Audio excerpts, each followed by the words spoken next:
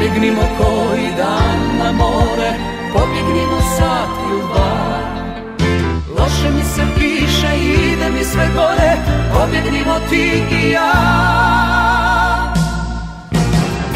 Ovdje ima malo neba Ovdje ima manje ptica Sjene nam se vječno slažu.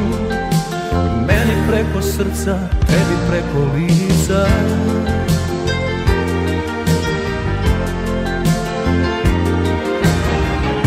Ovdje nema ničeg pravog Televizor, lica ista Tamo kasna zvona zvone Svježa posteljina, tijelo tvoje lista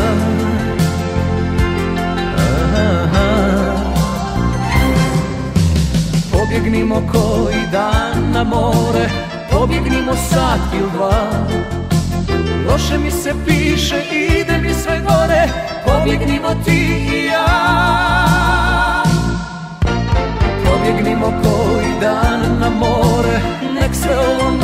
vrak Ovdje samo stariš i sakupljaš more Zametnimo svaki trak Ti i ja.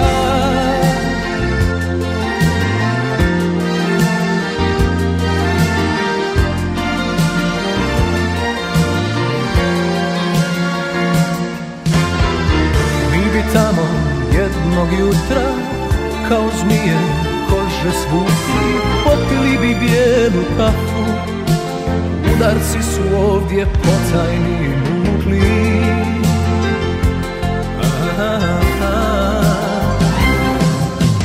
Pobjegnimo koji dan na more Pobjegnimo sat ili dva. Loše mi se piše, ide mi sve gore Pobjegnimo ti i ja